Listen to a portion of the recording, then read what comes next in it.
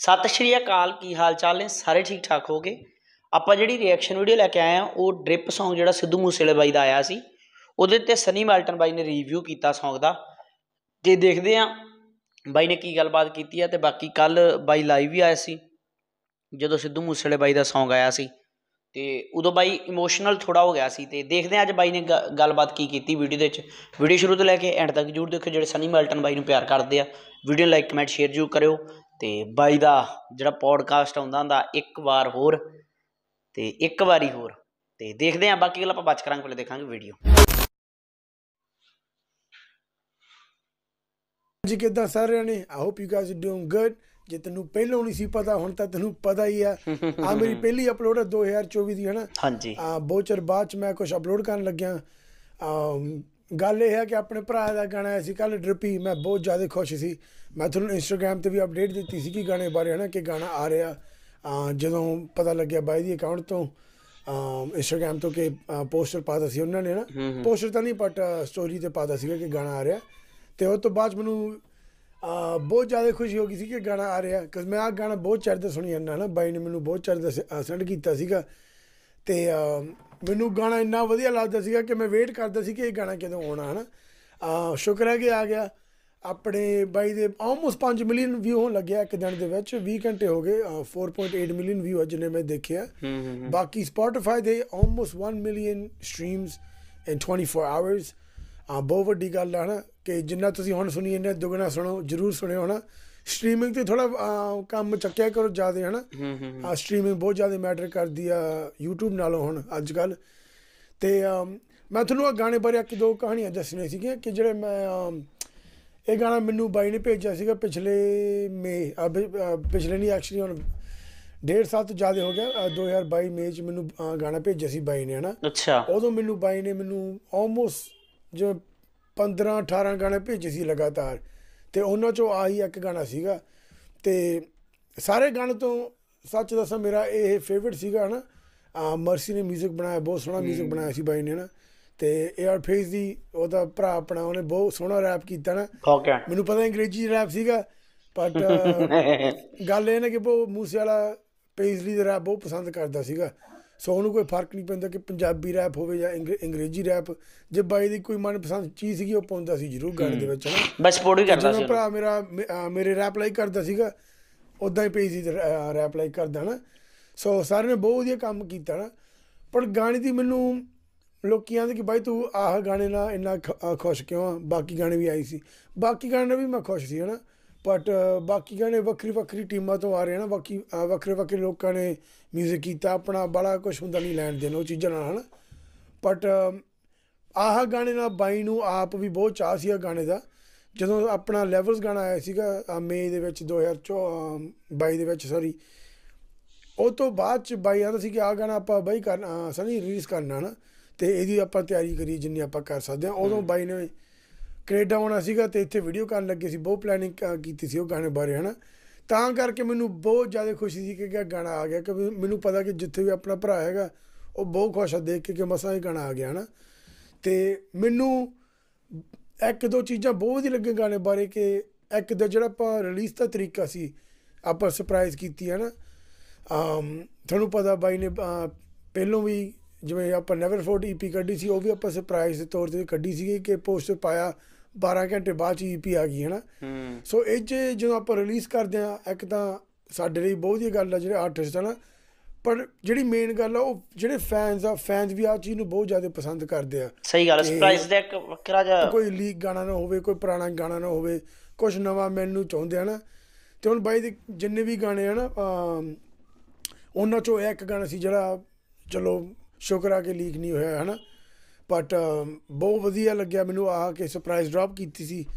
um, ਬਾਕੀ ਮੈਨੂੰ ਲੱਗਦਾ ਕਿ ਇਹ ਗਾਣੇ ਦਾ ਹੁਣ ਬਣਦਾ ਵੀ ਸੀ ਆਉਣਾ ਹਨਾ? ਟਾਈਮਿੰਗ ਬਹੁਤ ਸਹੀ ਸੀ ਗਾਣੇ ਦੀ।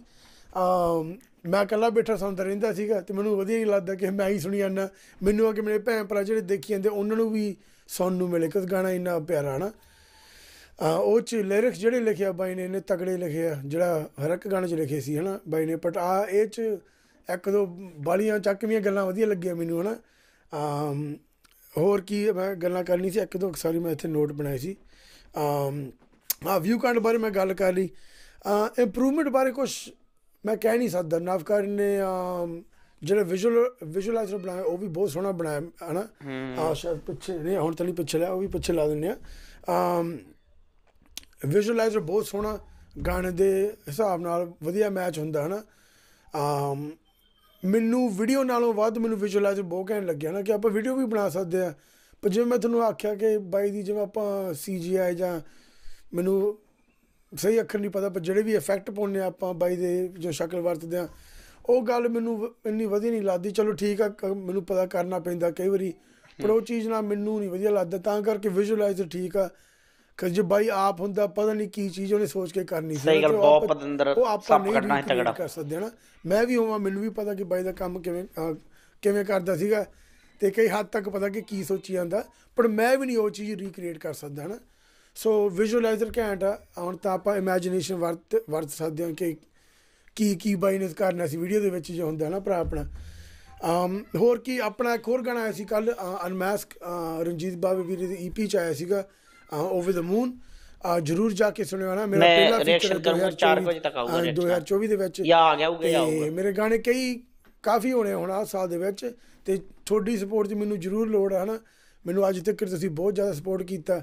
ਤੇ ਮੈਂ ਕੰਮ 'ਚ ਕਈ ਵਾਰੀ ਠੰਡਾ ਪੈ ਜਾਂਦਾ ਖਸ ਤੁਹਾਨੂੰ ਪਤਾ ਮੈਂ ਭਰਾ ਤੋਂ ਬਗੈਰ ਕੰਮ ਬਹੁਤ ਔਖਾ ਹਨਾ। ਮੈਂ ਦੱਸ ਨਹੀਂ ਸਕਦਾ ਮੈਂ ਇੱਥੇ ਦਾ ਬੈਠਾ ਰਹਾਂ ਗੱਲ ਕਰੀ ਜਾਵਾਂ ਤੁਹਾਡੇ ਨਾਲ ਕਿ ਕੀ ਕੀ ਮੇਰੇ ਨਾਲ ਹੁੰਦਾ ਰਹਿੰਦਾ ਦਿਨੋਂ ਦਿਨ ਹਨਾ ਕਿ ਜਦੋਂ ਮੈਂ ਮੋਮੈਂਟਮ ਜਾਂ ਸਪੀਡ ਫੜਦਾ ਫਿਰ ਮੈਨੂੰ ਕਈ ਵਾਰੀ ਲੱਗਣ ਲੱਗ ਜਾਂਦਾ ਕਿ ਆ ਭਰਾ ਹੈ ਨਹੀਂ ਜੀ ਐ ਨਹੀਂ ਕਰਦਾ ਕਰਨ ਨੂੰ ਹਨਾ ਫਿਰ ਮੈਨੂੰ ਉਹਦੀ ਆਵਾਜ਼ ਸੁਣਦੀ ਕਿ ਬਾਈ ਇੰਨੀ ਛੇਤੀ ਤੂੰ ਹਾਰ ਨਹੀਂ ਮੰਨਣੀ ਇਹ ਉਹ ਹਨਾ ਮੈਨੂੰ ਆਪਦੇ ਆਪ ਨੂੰ ਬਹੁਤ ਸਮਝਾਉਣਾ ਪੈਂਦਾ ਕਿ ਨਹੀਂ ਯਾਰ ਸਨੀ ਤੂੰ ਕੰਮ ਕੰਮ ਨਹੀਂ ਛੱਡਣਾ ਕ- ਯਾਰ ਕੰਮ ਸਾਰਿਆਂ ਨਹੀਂ ਨਾਲ ਹੋ ਛੱਡਣਾ, ਜਾਂਦਾ ਇਹ ਕੰਮ ਚੀਜ਼ ਕਰ- ਹੋ ਜਾਂਦੀ ਯਾਰ ਮੈਂ ਵੀ ਬਹੁਤ ਚਿਰ ਦਾ ਕਰੀ ਜਾਂਦਾ 뮤직 ਨੂੰ ਨਾ ਮੈਂ ਆ ਬਾਈ ਦੀ ਬਹੁਤ ਰਿਸਪੈਕਟ ਕਰਦਾ ਪਰ ਮੈਂ 뮤직 ਕੱਲਾ ਬਾਈ ਲਈ ਨਹੀਂ ਕਰਦਾ ਸੀ ਮੈਂ 2006 ਦਾ 7 ਦਾ ਲੱਗਿਆ ਪਿਆ ਨਾ ਜੇ ਤੁਸੀਂ ਮੇਰਾ ਆਹ YouTube ਚੈਨਲ ਵੀ ਦੇਖੋ ਮੈਂ 2007 ਵਿੱਚ ਖੋਲਿਆ ਜਦੋਂ ਮੈਂ ਕਿਸ ਨੂੰ ਵੀ ਨਹੀਂ ਜਾਣਦਾ ਸੀ, ਹਨਾ।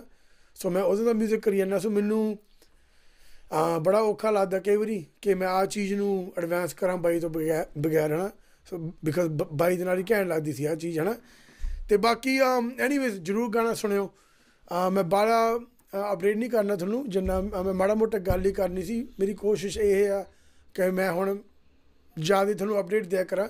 ਹੋਪਫੁਲੀ ਐਵਰੀ ਵੀਕ ਆਪਾਂ ਇਹ ਜੋ ਵੀਡੀਓ ਬਣਾਵਾਂ ਤੁਹਾਡੇ ਤੁਹਾਡੇ ਲਈ, ਹਨਾ।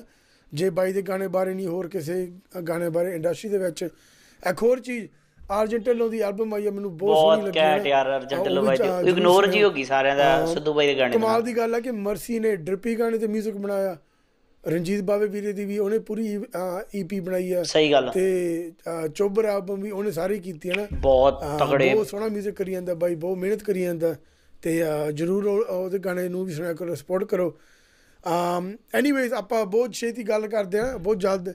ਤੇ ਮੇਰੇ ਗਾਣੇ ਆ ਰਿਹਾ ਗੁਰੀ ਬਾਈ ਦਾ ਵੀ ਗਾਣਾ ਆ ਰਿਹਾ। 12 ਬੋਰ ਮੈਂ ਪੋਸਟਰ ਪਾਉਂਗਾ ਤੇ ਜਰੂਰ ਕਮੈਂਟ ਕਰਿਓ ਲਾਈਕ ਕਰਿਓ ਸ਼ੇਅਰ ਕਰਿਓ। ਜੇ ਤੈਨੂੰ ਪਹਿਲਾਂ ਨਹੀਂ ਸੀ ਪਤਾ, ਮਿਲਦੇ ਹਾਂ ਆਪਾਂ। ਹਾਂਜੀ ਇਸ ਸੀ, ਇਹ ਸੀ ਜੀ ਆਪਣੇ ਸਨੀ ਮਾਲਟਨ ਬਾਈ ਦੀ ਗੱਲਬਾਤ। ਬਾਈ ਨੇ ਗੱਲਬਾਤ ਬਹੁਤ ਘੈਂਟ ਕੀਤੀ। ਤੇ ਇੱਕ ਸਰਪ੍ਰਾਈਜ਼ ਮਿਲਿਆ ਸਿੱਧੂ ਮੂਸੇਵਾਲੇ ਬਾਈ ਵੱਲੋਂ, ਉਹ ਬਹੁਤ ਵਧੀਆ ਚੀਜ਼ ਸੀ। ਸਡਨਲੀ ਕਿਸੇ ਨੂੰ ਨਹੀਂ ਪਤਾ ਸੀ ਕਿ ਇਹ ਚੀਜ਼ ਇੱਕਦਮ ਆ ਜਾਣੀ ਆ। ਮੈਂ ਜੋ ਸਵੇਰੇ ਉੱਠਿਆ, ਮੈਂ ਹੈ ਸਿੱਧੂ ਮੂਸੇਵਾਲੇ ਬਾਈ ਦਾ ਗਾਣਾ, ਉਹ ਇੱਕ ਰਿਐਕਸ਼ਨ ਹੀ ਵੱਖਰਾ ਸੀ।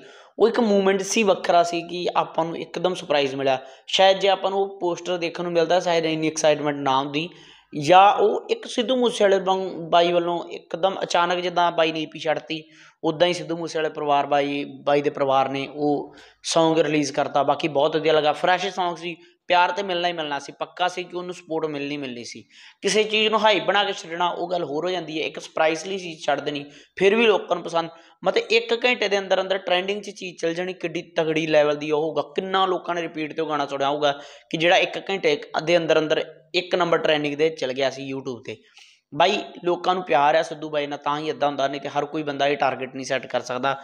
ਬਾਕੀ ਤੁਸੀਂ ਦੱਸੋ, ਤੁਹਾਨੂੰ ਇਹ ਕਿਦਾਂ ਦੀ ਗੱਲਬਾਤ ਲੱਗੀ ਸਨੀ ਮਾਰਟਨ ਬਾਈ ਦੀ? ਤੁਹਾਡੇ ਕੀ ਖਿਆਲ ਨੇ? ਤੁਸੀਂ ਕੀ ਸੋਚਦੇ ਜੋ? ਜਰੂਰ ਕਮੈਂਟ ਕਰਕੇ ਦੱਸਿਓ। ਮਿਲਦੇ ਹਾਂ ਜਲਦੀ ਨੈਕਸਟ ਵੀਡੀਓ 'ਚ। ਸਤਿ ਸ਼੍ਰੀ ਅਕਾਲ।